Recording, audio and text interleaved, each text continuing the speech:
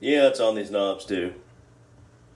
I just been going out of here and shutting the door. It's bad enough being gas from next door, but also having this compounded makes it worse. I already started cleaning some. Yeah, that was like the same stuff that was on this. It, it damages metal. That's what it does to metal. Well, I've already mentioned that in many videos. You know what's funny is I get to looking, yeah, I cleaned the sink, but it's still not perfect. It's still got dirt. It's still, that yellow shit was all over it. Tacky yellow crap.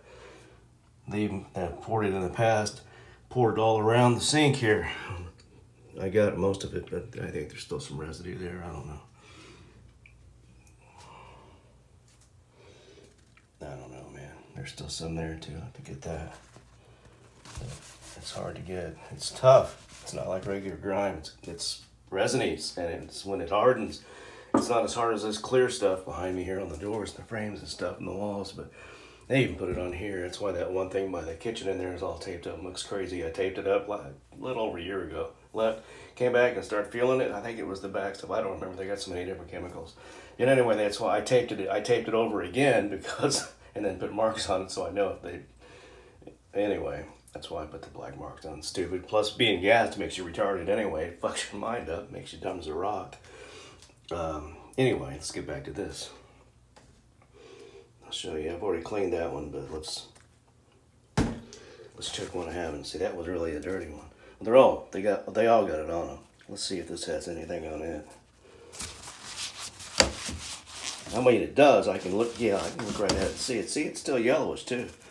See, look at that. That's that yellow shit. But what that does, it eats metal and gangrenes it. Once it gets in brass, and I'm sure that that's pewter, or it's got some kind of brass in it. It just keeps eating it. It doesn't. Once it's in the metal, I noticed that from my artifacts that used to be by the bed. They put them on it because I don't give a shit about artifacts. They don't care about God. They put it on my crosses. They put it on everything. So, well, not everything. They didn't put it on those little uh,